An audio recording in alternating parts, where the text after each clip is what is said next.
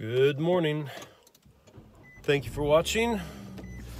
This is, uh, I suppose, episode three of a series on politics and government.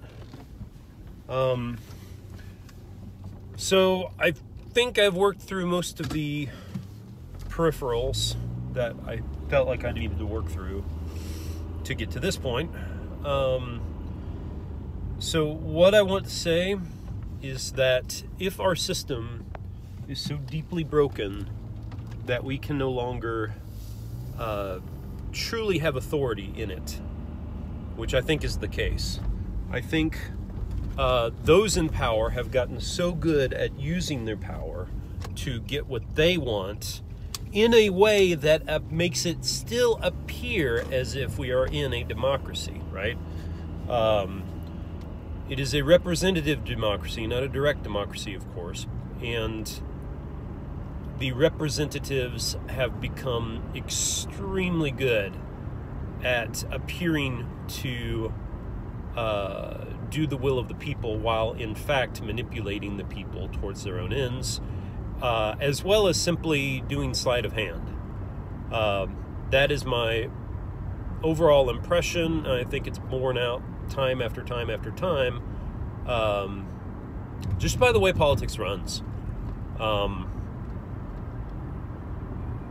true democracy must have negotiation and, dare I say it, the word compromise. Yes, you have to compromise in the commons. You don't compromise in your personal sphere, within your own heart, within your own uh, community. But our our civilization is built on the idea that communities of differing types can get along. And that can only happen if you are capable of saying, okay, fine, we can't have everything we want. We will compromise with you in order to have a decent civilization. And we have decided not to do that. And to a certain degree, uh, the politicians can be commended because they actually do compromise sometimes. They just do it behind the scenes, right? They don't want to appear to be so weak that they would compromise. Uh, but luckily, they did at least do that every now and then. But again, it's part of the brokenness of our system that we don't realize the necessity of compromise. We think that when we win, when our sides win, uh, we have defeated the out the other team. And I almost think that there is some kind of a internal. Um, that's weird. Uh, I almost think there is some. There's a sense in which. Um,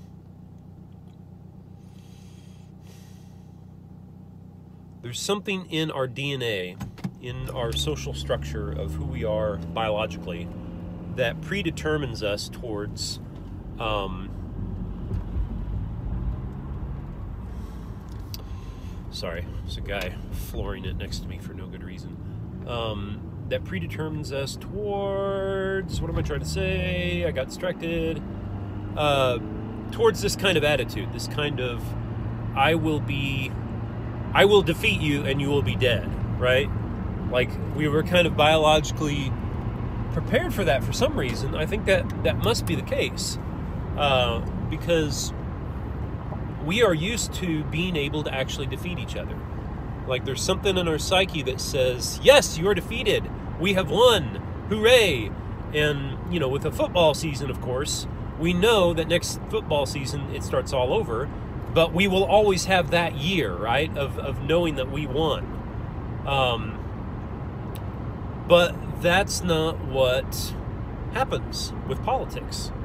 We don't go, okay, you get these four years, all right.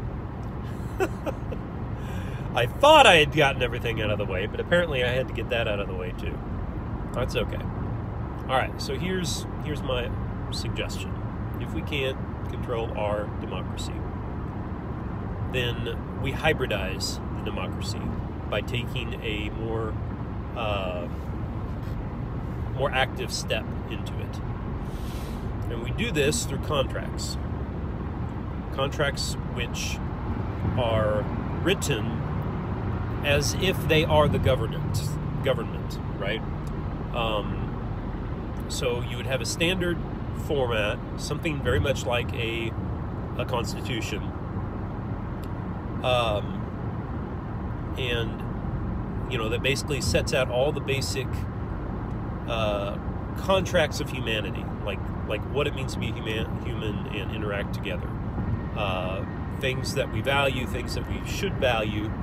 Uh, our best model of what it means to care for each other and to exist in community, right? Um, I work. I feel like I worked a lot of that out in some of my my my uh, uh, betterment project. Uh, so perhaps I'll I'll make a rendition of that. Maybe I'll study the Constitution too, because there's some really amazing stuff in there that that works for everyone. Anybody can pick up the Constitution, read it, and go bam, bam, like you see what's going on if they take the time, right? Uh, whereas a work of philosophy that doesn't always work. So that means that the philosophy of the Constitution is very well enveloped in a rhetoric that the people can understand. So that's something I need to get good at. Anyway, um, so constitutions that are general for all of humanity, plus a statement of, or uh, I, I've been, I'm in contract with the Constitution. Uh, and then the second order of that would be uh, the particulars, like business partners, uh, friends, and even friends and neighbors and relatives, and and people you work with. Uh, we just start building these networks of contracts that that are hyperlinked, right? That are linked together, so that if one contract breaks, you have this ripple effect amongst all the contracts. Um, and um, what that does, or what that can do, is take the place of the government. It basically, um, I mean, I, I can't imagine the government ever just disappearing uh, completely, uh, but it could happen. I mean, I think what would happen is it would be subsumed by this contract network eventually. And it would be minimized. It would shrink down to nothing because we have taken control. Basically, we have we have owned the process, and the contracts become um, not something that is done way way far away, but something that is done personally in our lives. Will people try to game the contract network for their own uh, advantage, of course, that will happen. But the way we uh, deal with that is we. Um,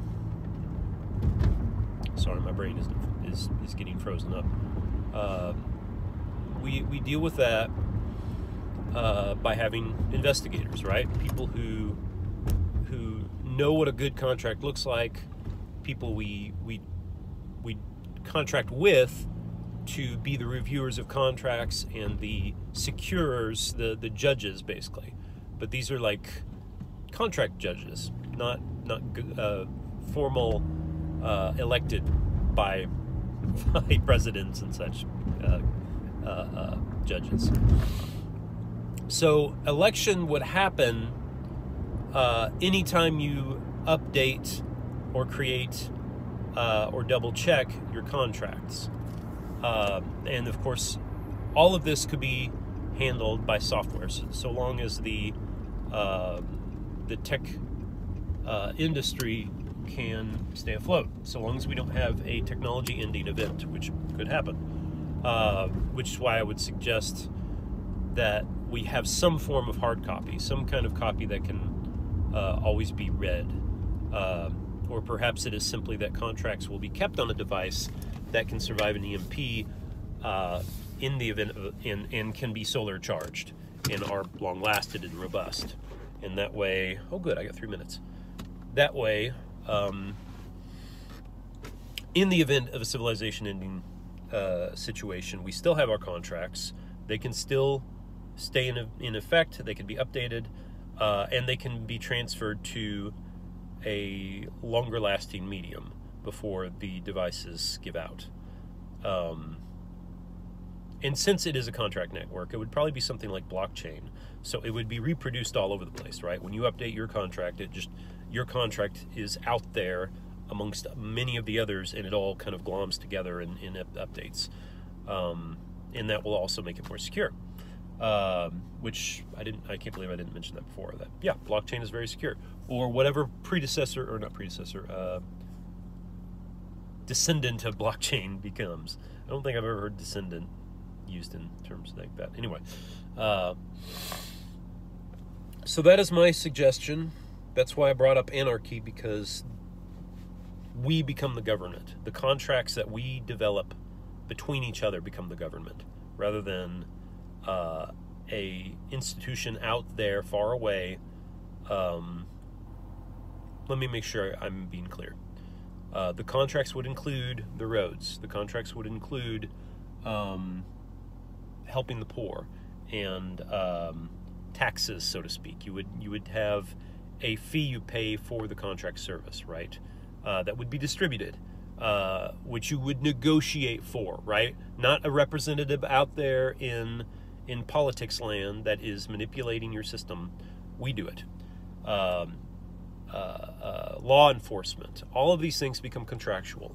Uh, when somebody says, "Hey, I want to do it this way," they can create a new contract, and if that contract gains where and when it gains support, you know, most contracts would probably become active once a certain number of people agree to them, right? And then that number would would become part of that. And you could have people next door that are under a different contract with you, so that they're under a different um, system's jurisdiction, right? Which will be very confusing in some ways. But hey, you've got the device, the contract device that's hardcore and is solar powered and all that that will survive an EMP, and so you guys can be just like, you know, if if you're a cop and you're called to a house, you check your thing and it's like, ah, that's contract 21A okay, we know we know what that procedure is. We're smart people because we're well educated because our our contract education system was far better than the state-owned uh, uh, education system, etc., etc., etc. Going to war, you know, you would have very specific contract scenarios that allow going to war to be done according to the way the true majority of people want it done rather than how some representative and some general say it must be done. And if they betray their contract, they they're out. They're out of a job or some other, you know, depending on how what degree of, of betrayal they have. Okay, that's that's the idea. We can do it. Start doing it now because all we have to do is start making contracts. That's all we have to do.